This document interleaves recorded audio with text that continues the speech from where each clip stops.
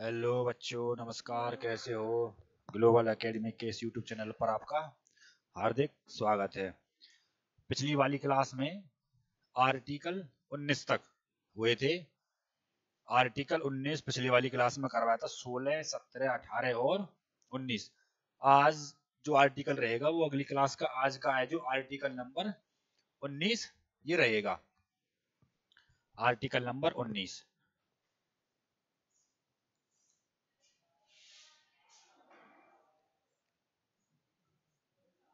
Article number 20 19 पिछली वाली class में हो चुका है। आर्टिकल नंबर 19 पिछली वाली क्लास में हो चुका है।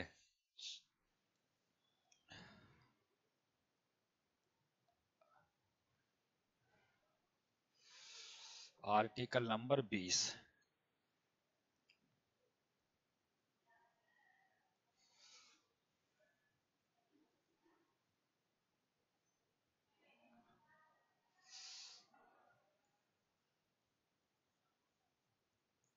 article 20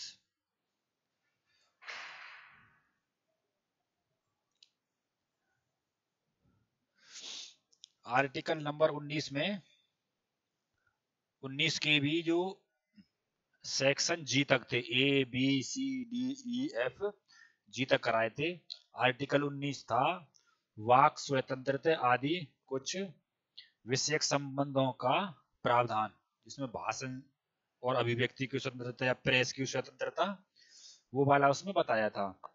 और 19 का ए का फ़र्स्ट क्या था? भाषण की स्वतंत्रता, जिसमें आप स्पीच वगैरह पर, आप पर कोई रोक टोक नहीं रहेगी। और बी कौन सा बताया था? शांतिपूर्ण और निरायुद्ध सम्मेलन आप कर सकते हैं। सम्मेलन का मतलब होता है भीड़ जुटा सकते हैं। शांतिपूर्ण और निरायुद्ध। निरायुद्ध का मतलब था, यानी कि बिना किसी हथियार थे और सी में क्या बताया था?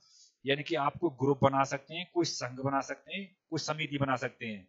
और एक इसमें सहकारी समिति शब्द ऐड किया गया था सहकारी समिति ये था कि आप कोई भी ग्रुप बना सकते हैं तो आप पर कोई रोक टोक नहीं रहेगी। लेकिन वो वैध होनी चाहिए, उसमें कोई हथियार वगैरह का यूज़ नहीं होनी चाहिए। और सहकारी समिति को आर्टिकल 19 में सतानवे अमेंडमेंट 2011 के द्वारा ऐड किया गया था मनमोहन सिंह के द्वारा। ए बी सी तक हो गया था। डी में क्या था? डी में किसी भी व्यक्ति को भारत के किसी भी राज्य क्षेत्र के अंदर संचरण और भ्रमण, यानी कि वो कहीं भी रह सकता है और घूम सकता है, उस पर कोई वाद्य नहीं होगा। लेकिन अगर कोई ऐसा व्यक्ति है जिस पर उस क्षेत्र में जाने से पाबंदी है तो फिर उसको वहाँ पर जाने से रोक दिया जाएगा। अच्छा इससे अगले वाला क्या था? व्यक्ति को भारत राज्य क्षेत्र के अंतर्गत कहीं भी जो निवास वो कर सकता है। उसके अंदर उससे आगे क्या बताया था? संपत्ति का अधिकार था, जो अब हटा दिया गया था, वो जी में था। और अब उसको आर्टिकल 300 के विधिक या कानूनी अधिकार, लीगल वो कर दिया गया है। उसके बाद में क्या था, जो लास्ट वाला, किसी भी व्यक्ति को वृत्ति उपजीविका व्यापार करने पर कोई, जो उस पर कोई भी रोक नहीं रहेगी, वो व्यापार कर सकता है, लेकिन वो, जो अवैध नहीं होना चाहिए, वैध होना चाहिए। ये बताया था आर्टिकल नंबर 19 और आर्टिकल नंबर 20 जो आज हम स्टार्ट करेंगे। ये होता है अपराधों के लिए दोष सिद्धि। और उसके संरक्षण, जो किताब वाली लैंग्वेज है अपराधों के लिए दोष सिद्धि दोष सिद्धि और उनके संरक्षण।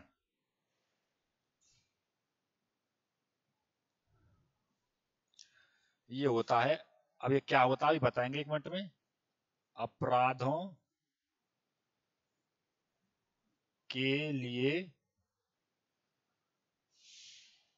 दोष सिद्धि।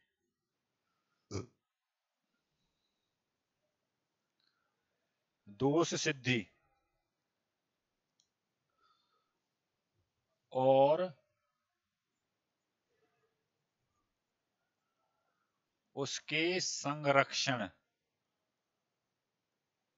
अपराधों के लिए दोष सिद्धि और उसके संरक्षण।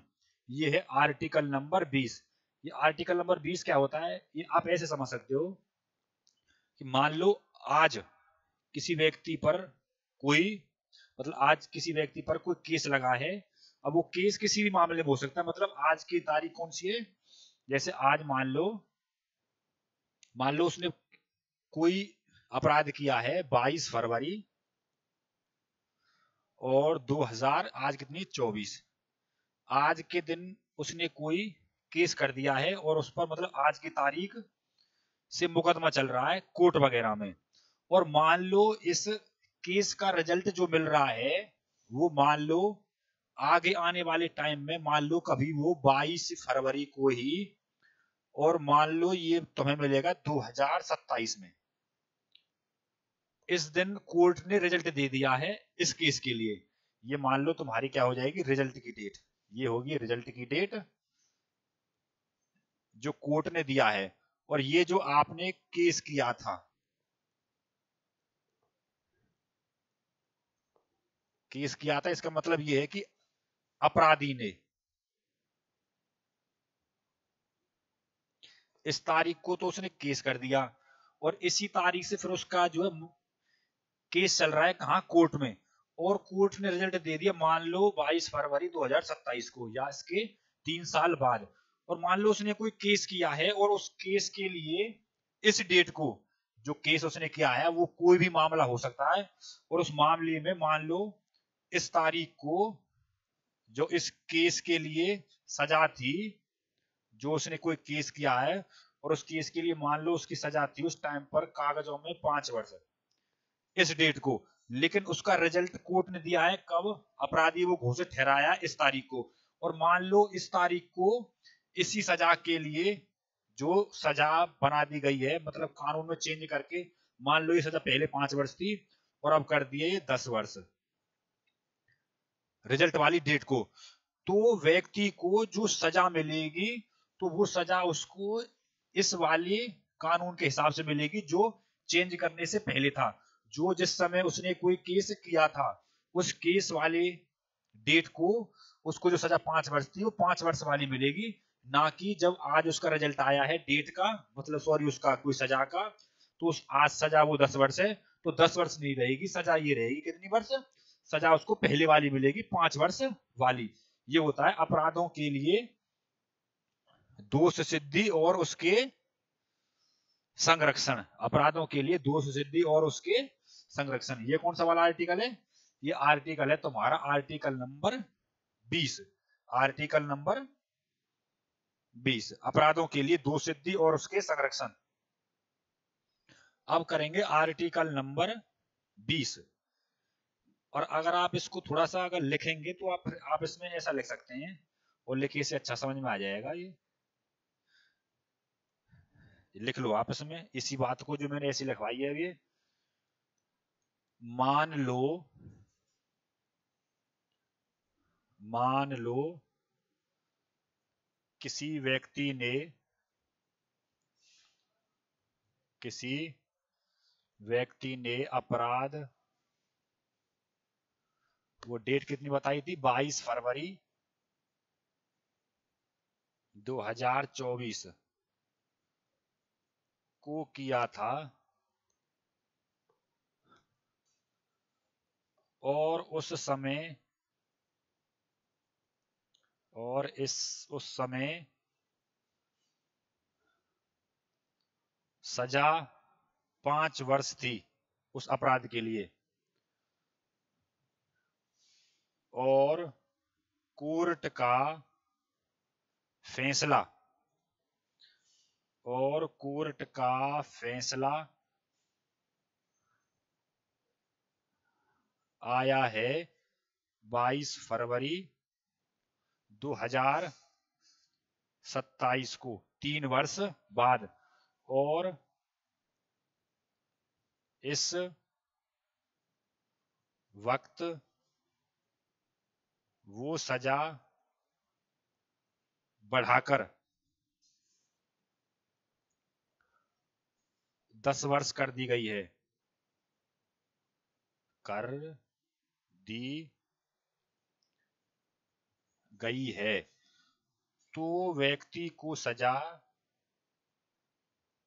तो व्यक्ति को सजा पाँच वर्ष वाली मिलेगी। पाँच वर्ष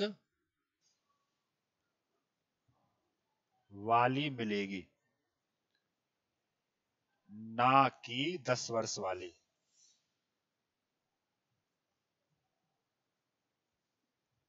ये हो गया आर्टिकल नंबर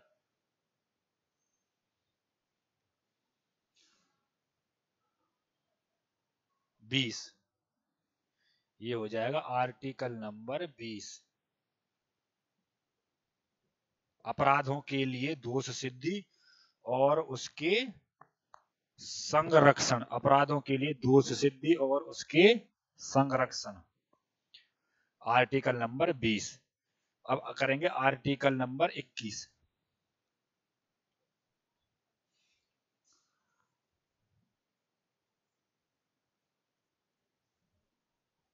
आर्टिकल नंबर 21 ये होता है, जीवन जीने का अधिकार है, ना कि मरने का।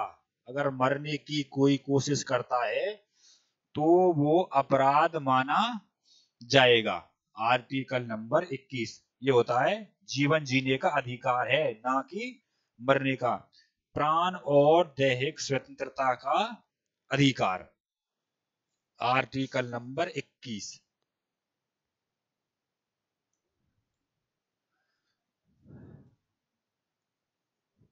प्राण और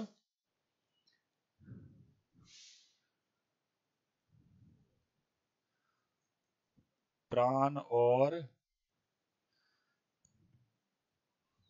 दैहिक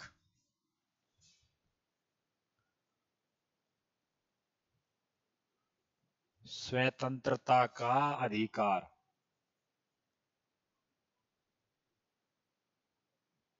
प्राण और द्वैहिक स्वतंत्रता का अधिकार। और बोल सकते हैं जीवन जीने की इच्छा। और जीवन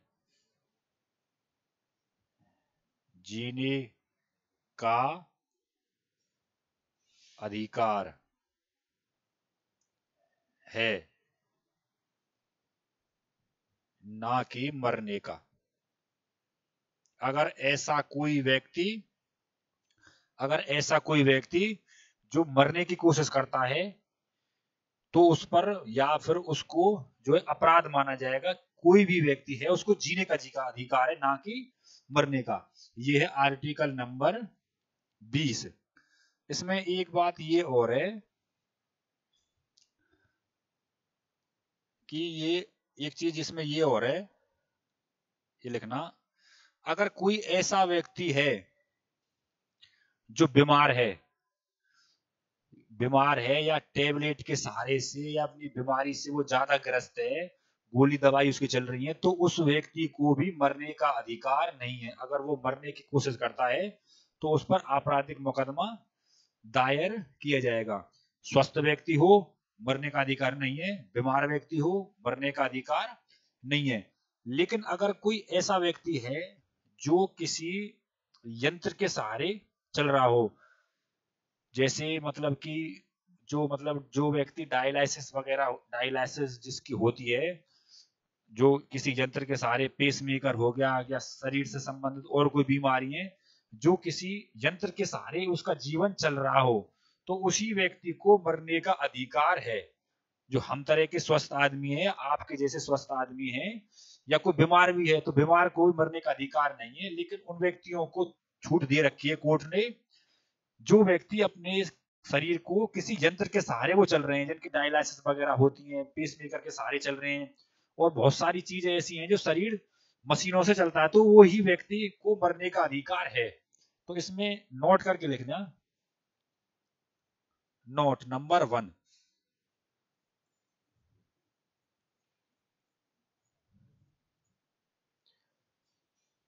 अगर कोई व्यक्ति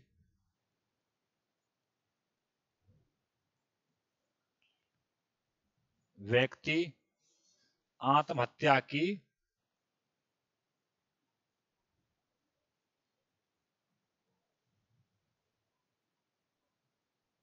कोशिश करता है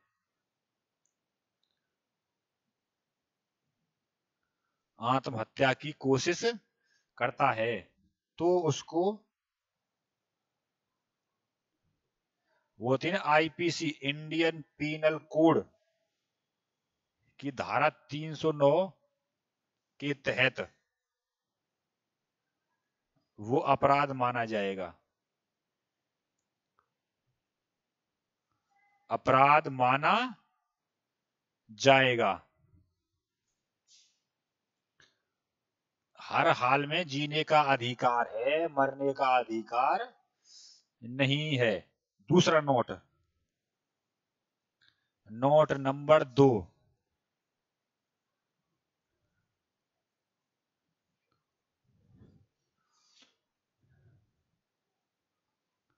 बीमारी से ग्रस्त व्यक्ति, बीमारी से ग्रस्त व्यक्ति को भी मरने का अधिकार नहीं है।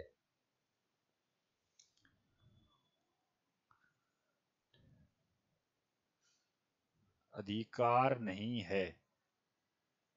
नोट नंबर तीन।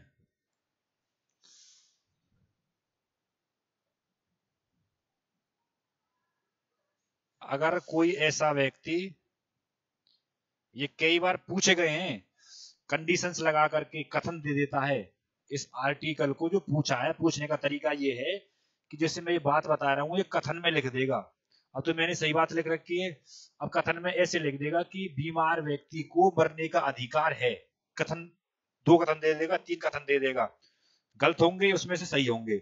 अब आपको वो देख करके चेक करना है कि कौन सा ठीक है, कौन सा गलत है। जैसे पेपर में कभी ऐसे दे देगा, इस आर्टिकल से संबंधित कि बीमारी से जो ग्रस्त व्यक्ति हैं, उनको मरने का अधिकार है आर्टिकल नंबर 21 में बताया गया है। लेकिन ये गलत है। आर्टिकल नंबर 21 में ऐसा बताया गया है कि बीमार व्यक्ति, या जो बीमारी से ग्रस्त व्यक्ति है, उसको भी मरने का अधिकार नहीं है, वो भी नहीं मर सकता। स्वस्थ व्यक्ति को दूर की बात, जो बीमार व्यक्ति है, उसको भी मरने का अधिकार नहीं है। और कथन नंबर तीन में इसमें देगा कि नोट नंबर तीन इसमें लिखवा रहा हूँ नोट नंबर तीन। अगर कोई व्यक्ति अगर कोई व्यक्ति किसी यंत्र के सहारे जीवन चल रहा है, जीवन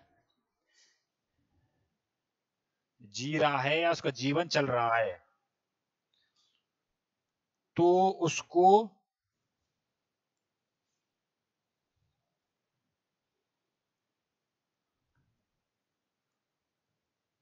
तो उसको मरने का अधिकार है।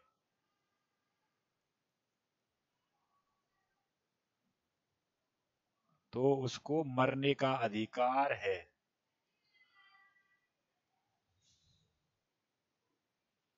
तो उसको मरने का अधिकार है। ये किस आर्टिकल में बताया गया है? ये बताया गया है आर्टिकल नंबर 21 में। आर्टिकल नंबर 21 में।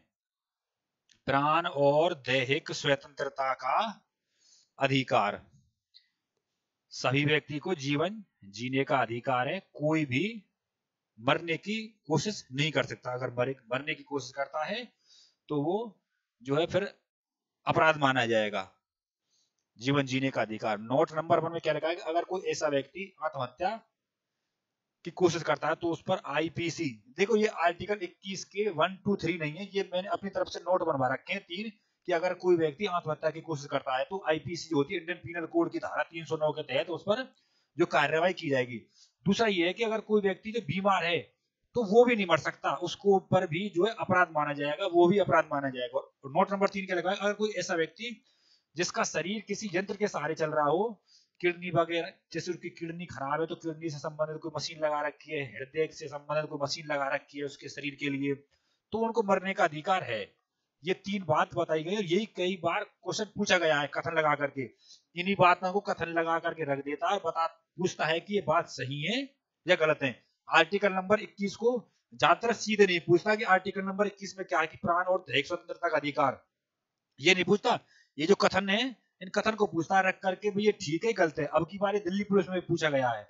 कथन दे रखे थे और पूछ रहा था कि सुबेल कीजिए, कौन से ठीक है और कौन से गलत है। तो ये हो जाएगा आर्टिकल नंबर 21 प्राण और दैहिक स्वतंत्रता का अधिकार। आर्टिकल नंबर अब 22 आर्टिकल नंबर 22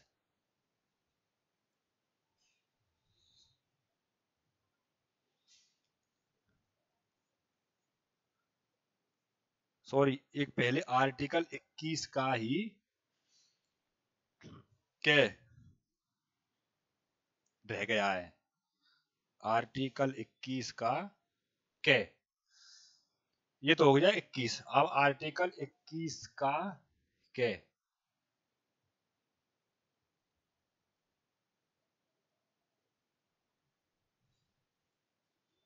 आर्टिकल 21 के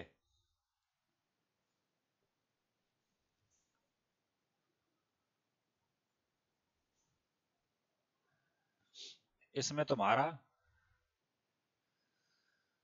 शिक्षा का अधिकार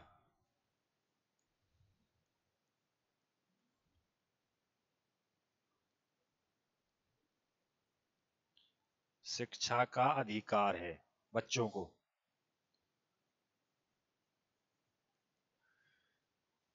ये जो छह वर्ष से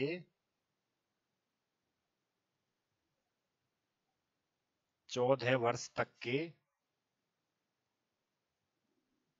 बच्चों को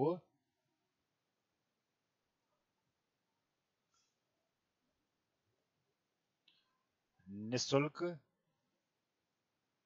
शिक्षा का अधिकार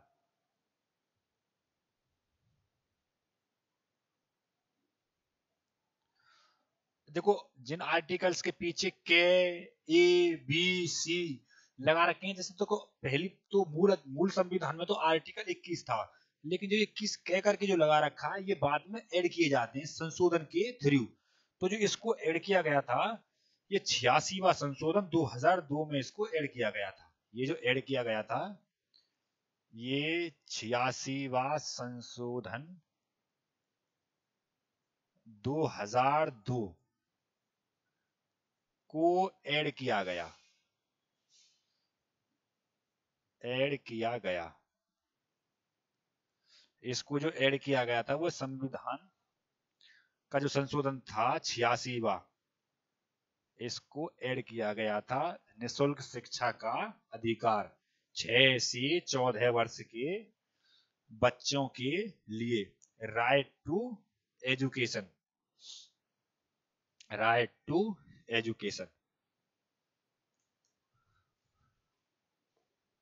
right to education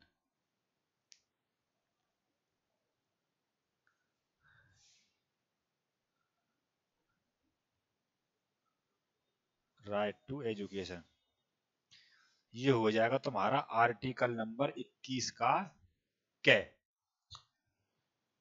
शिक्षा का अधिकार, निशुल्क शिक्षा का अधिकार छह से चौदह वर्ष तक के बच्चों के लिए, और इसको जो ऐड किया गया था वो छियासीवा संशोधन 2002 के द्वारा इसको ऐड किया गया था। ये हो जाएगा आर्टिकल 21 पूरा और 21 कै, जो बाद में जोड़ा गया है। अब इसके बाद में आता है आर्टिकल नंबर 22 आर्टिकल नंबर 22 कौन सा है?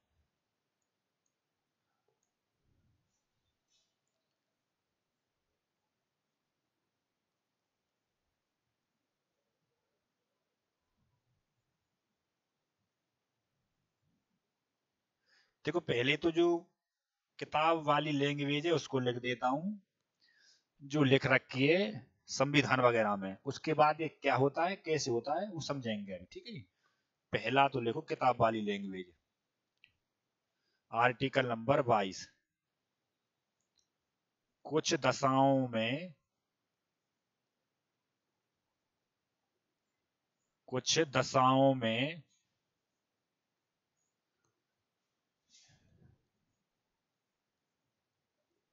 निरोध से संरक्षण।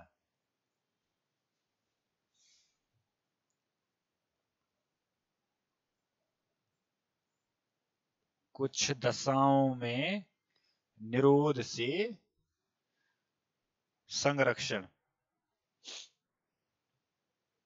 ये क्या होता है?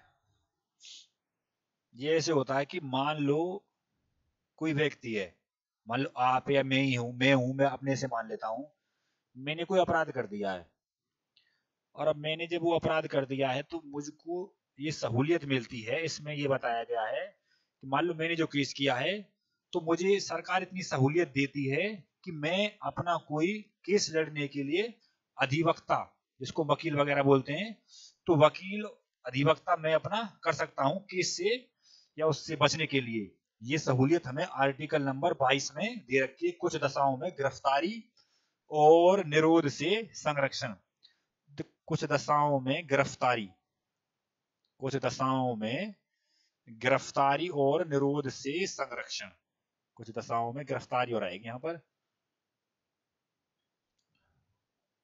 कुछ दशाओं में गिरफ्तारी। कुछ दशाओं में गिरफ्तारी। या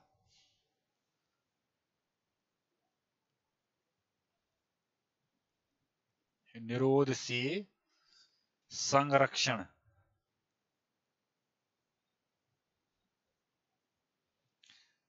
यानी कि ये सहूलियत मिलती है, जो मैंने बात अभी समझाई है कि जो सरकार सरकार ने सॉरी जो इस आर्टिकल के थ्रू हमको सहूलियत मिलती है कि मैं अपना कोई केस से मेरा केस लड़ने के लिए मैं अपना कोई अधिवक्ता या वकील रख सकता हूँ। ये हो, ये है आर्टिकल्स का मीन किसका बाईस का।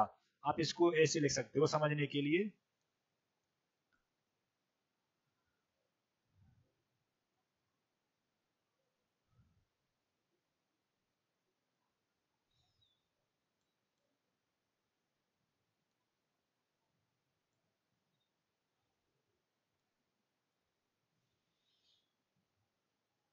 किसी व्यक्ति को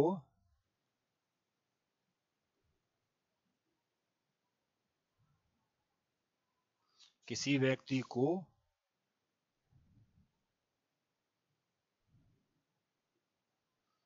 गिरफ्तारी से बचने के लिए व्यक्ति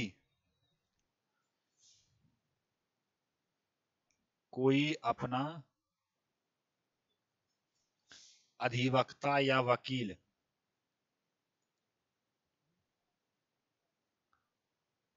अधिवक्ता या वकील रख सकता है। अधिवक्ता या वकील अधिवक्ता या वकील रख सकता है।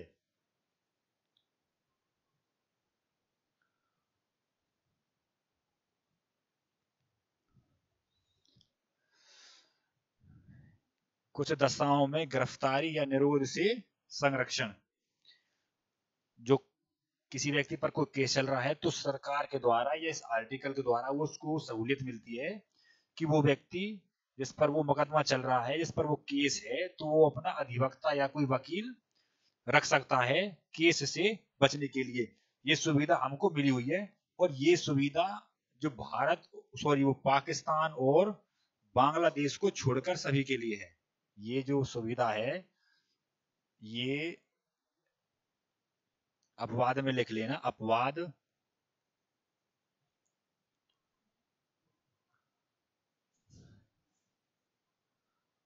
पाक और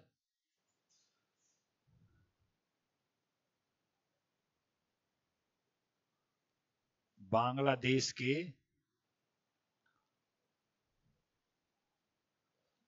व्यक्ति को छोड़कर हैं।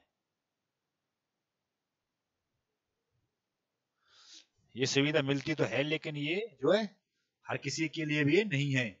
इसमें अफवाह दे रखे हैं, पाक और बांग्लादेश। अब इसमें तुम्हारे कुछ सब सेक्शन भी करके देख रखे कि बाईस का एक कौन सा है, दो कौन सा है तो एक तो ये हो गया, कुछ दशाओं में गिरफ्तारी और निरोध से संरक्षण। इसका दो है, और है। दो, तीन, इसके तीन है तो बाईस का दो।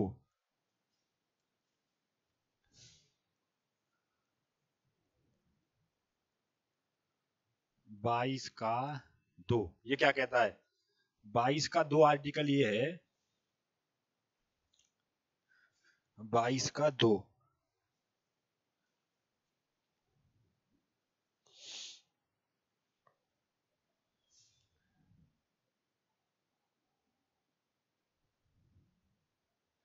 बाईस का दो ये है कि पुलिस ने किसी व्यक्ति को, बाईस का दो ये बताता है कि किसी व्यक्ति ने सॉरी, कि पुलिस ने किसी व्यक्ति को डाउट के बेस पर उठा लिया है, कि पुलिस को लग रहा है कि भाई ये व्यक्ति है, इसने जो है अपराध किया है, यही व्यक्ति है।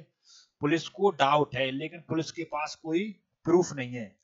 तो पुलिस उसको या उस व्यक्ति को जब गिरफ़्तार करती है, और मजिस्ट्रेट ऑफ़िस तक गिरफ़्तार जब से किया है, और मजिस्ट्रेट ऑफ़िस तक के टाइम में पुलिस उस व्यक्ति को अधिकतम 24 घंटे के लिए अपने पास रख सकती है। भाई, मान लो मैंने मैंने कोई जो अपराध किया है और पुलिस को मेरे पर डाउट है कि भाई इसी व्यक्ति ने किया लेकिन उसके पास कोई प्रूफ नहीं है। तो पुलिस ने जब मेरे को गिरफ़्तार किया है, उस समय से लेकर के और मेरे को जब तक वो मजिस्ट्रेट के दफ्तर तक नहीं ले जाएँगे, जब तक ऑफ़िस मजिस्ट्रेट ऑफ़िस तक ले जाएँगे, तब तक तब तक अधिक से अधिक 24 घंटे के लिए मुझको वो गिरफ़्तार कर सकते हैं। ये होता है आर्टिकल नंबर 22 का दो।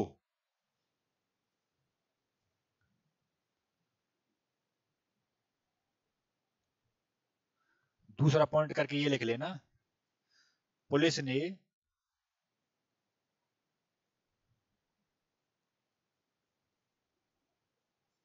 किसी व्यक्ति को अपराध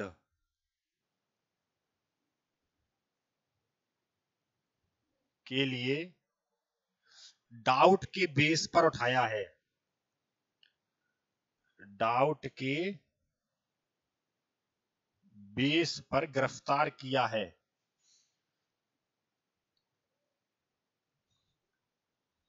गिरफ़्तार किया है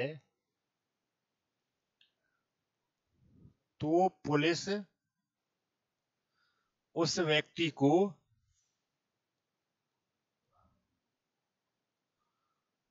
तो पुलिस उस व्यक्ति को मजिस्ट्रेट ऑफ़िस तक,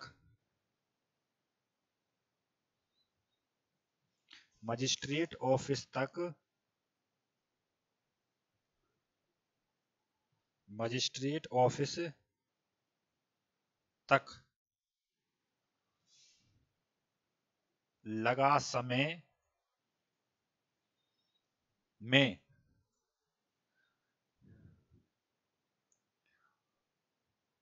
अधिकतम 24 घंटे तक रख सकती है।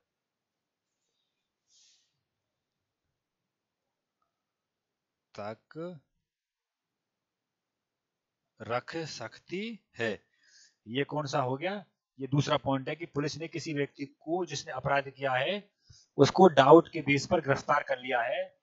तो पुलिस को जब से उसके गिरफ़्तार किया है और तब तक मजिस्ट्रेट ऑफ़िस तक जब तक उसको टाइम लगेगा तो मजिस्ट्रेट ऑफ़िस तक उसको अधिकतम 24 घंटे तक व्यक्ति को पुलिस रख सकती है।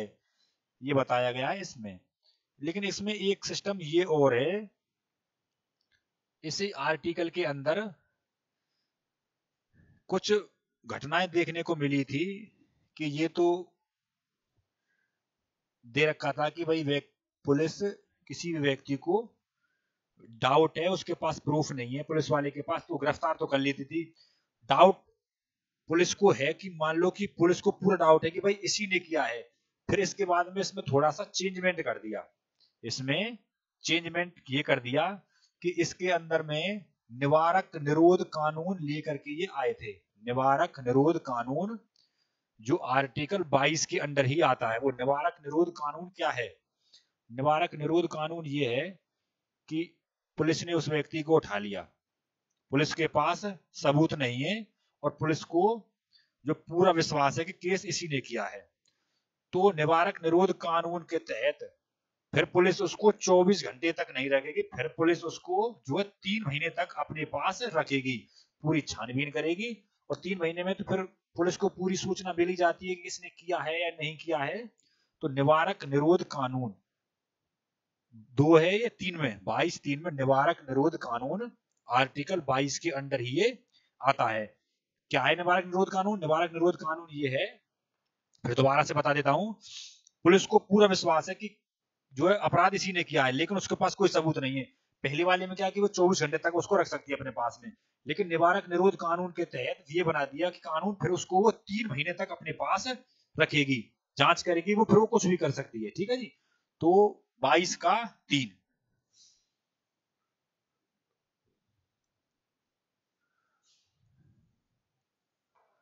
बाईस में ही आएगा ये तीन।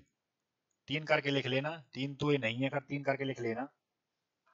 ये कथन में पूछे जाते हैं, दिल्ली पुलिस, जिसमें बहुत सारी भीड़ बैठती है जिस पेपर में तो पॉलिटी के उसमें लगभग से लगभग छह से सात क्वेश्चन पूछे जा रहे हैं। अब दिल्ली पुलिस ने सिस्टम अपना ऐसा बना दिया कि फिर वो क्वेश्चन को ऊपर से नहीं पूछता, फिर वो क्वेश्चन को भीतर से पूछता है।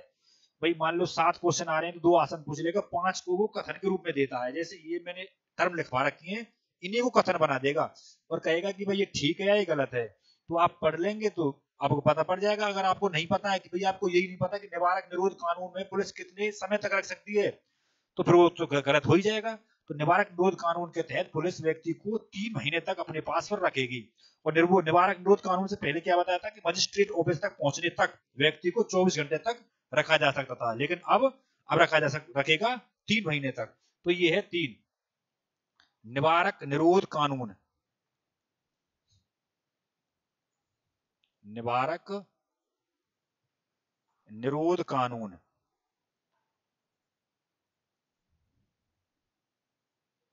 ये जो आता है अंडर आर्टिकल 22 ये अंडर आर्टिकल 22 के तहत ही ये आता है। क्या है निवारक निरोध कानून? भाई अभी बताया आपको। तो इसमें आप ऐसे लिखेंगे। एग्ज़ाम्पल से। पुलिस किसी व्यक्ति को डाउट के बेस पर उठाती है। डाउट के बेस पर उठाती है। और पुलिस को पूरा भरोसा है। और पुलिस को पूरा भरोसा है। परंतु पुलिस के पास परंतु पुलिस के पास कोई साक्ष्य नहीं है। परंतु पुलिस के पास कोई साक्ष्य नहीं है।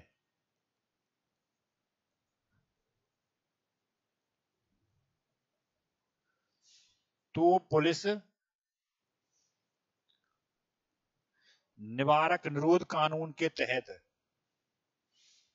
तो पुलिस निवारक निरोध कानून के तहत निवारक निरोध कानून के तहत तीन महीने तक रखेगी। अब 24 घंटे तक नहीं रखेगी ये, इसमें बताया गया है। भाई, पहले तो क्या होता था कि 24 घंटे तक वो पुलिस रख सकती थी। पुलिस को विश्वास मतलब पुलिस के पास कोई साक्ष्य नहीं था तो मजिस्ट्रेट ऑफ़िस तक उसको अधिकतम जो 24 घंटे तक रखती थी। और इसके बाद में निवारक निरोध कानून से क्या कर दिया है? इसको तीन महीने तक वो उसको रख सकती है। निवारक निरोध कानून के तहत। निवारक निरोध इससे, इसके बाद में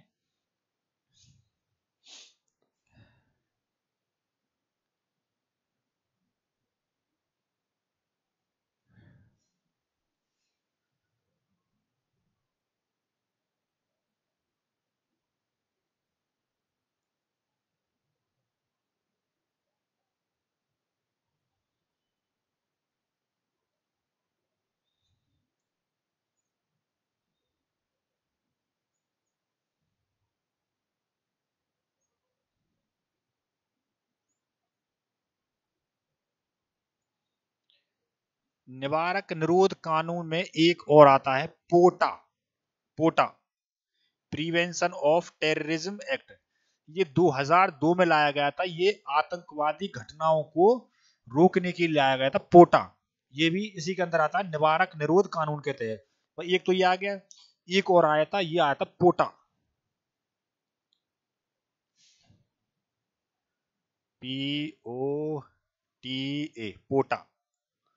Prevention of terrorism act 2002 में आया था, अटल बिहारी इसको लेकर के आया था। Prevention of terrorism act. ये था prevention of terrorism act. Prevention of terrorism act. ये इधर साइड में अलग है भाई। इसमें थोड़ी सी लाइन खींच देते हैं। इससे ये जो है फिर पता चल जाएगा, ये अलग साइड है, ये अलग साइड है। ठीक है जी? Prevention of terrorism act. ये क्या था ये? ये निवारक निरोध कानून था। आतंकवादी घटनाओं को रोकने के लिए ये लाया गया था। निवारक।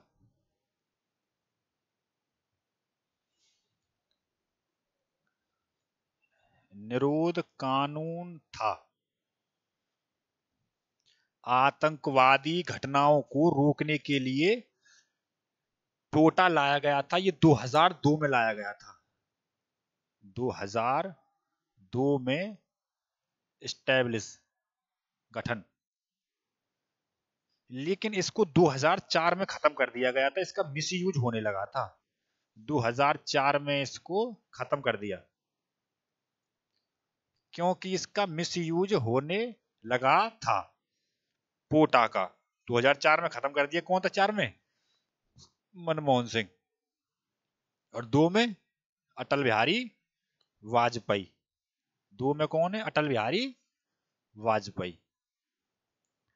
ये हो गया पोटा। ये भी निवारक निरोध कानून के तहत है, पोटा।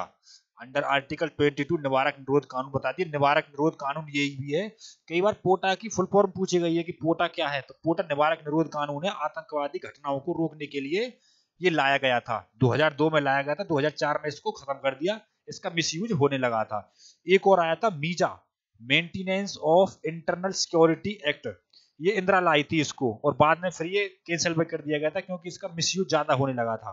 मीजा, एक और है, भाई 2002 में पोटा आ गया, इसके बाद में दूसरा कौन सा है? MISA maintenance of internal security act maintenance of internal security act ही लिख लो साइड में ही आ जाएगा ये। MISA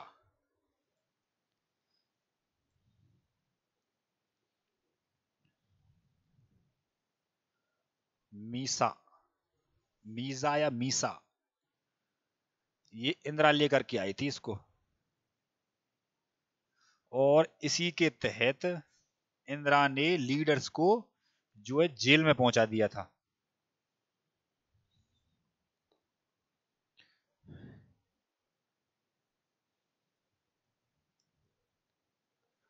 Maintenance of internal security act secure security act MISA maintenance of internal security act ये इंदिरा लेकर के आई थी इसको और ये निवारक निरोध कानून था ये। इंदिरा लाई थी इसको।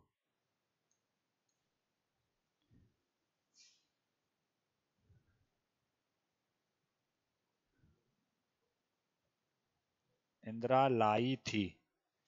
निवारक निरोध कानून था ये।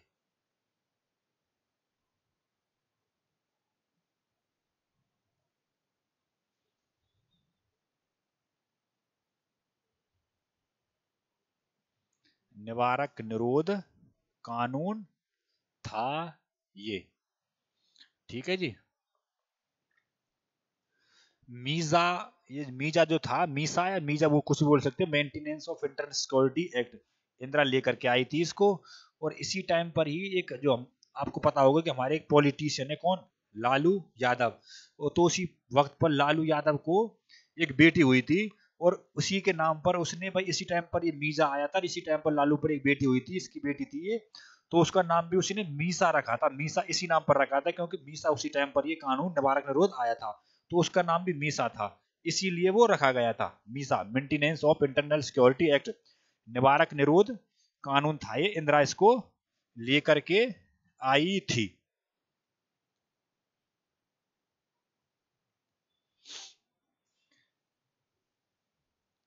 बाईस के तीन आर्टिकल नंबर बाईस, तीन, निवारक निरोध कानून। इसमें ये और लिख लेना, ये जो सुविधा है, हालाँकि मैंने ये ऊपर लिखवा दी है अपवाद में कि ये जो पाक और बांग्लादेश को छोड़कर सभी व्यक्तियों के लिए ये है। आप इसमें एक बार यहाँ और लिख लेना।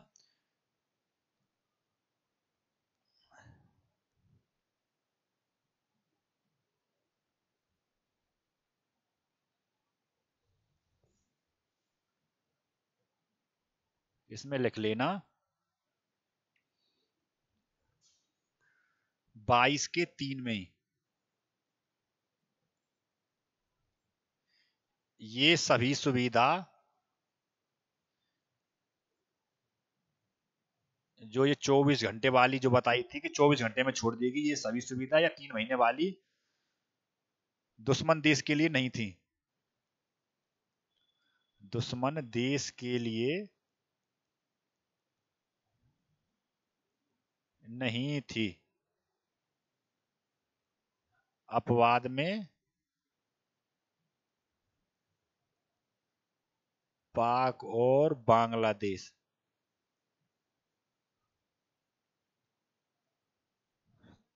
पाक और बांग्लादेश।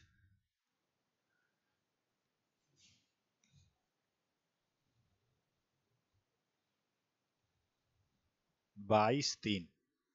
की ये बात है। अब ये तुम्हारा कंप्लीट हो गया आर्टिकल नंबर 22 लंबा आर्टिकल है। विश्वास रखना कि कभी कोई क्वेश्चन पूछा जाएगा तो इससे बाहर नहीं पूछा जाएगा। ये इनफ करा दिया बिल्कुल। पीसीएस तक का भी आप एग्ज़ाम दे लेना।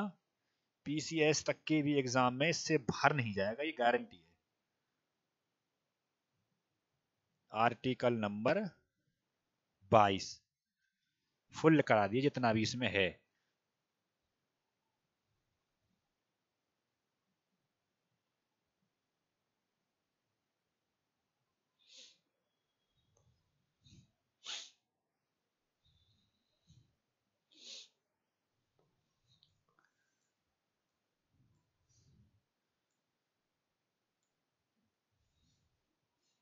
चीन और आएगा इसमें।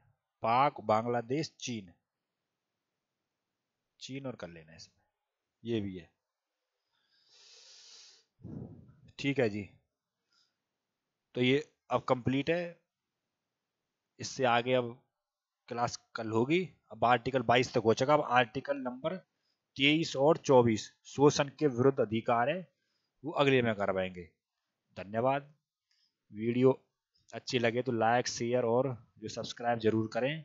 ये आपका ये चैनल और चैनल को सब्सक्राइब ज़रूर करें। ठीक है? धन्यवाद।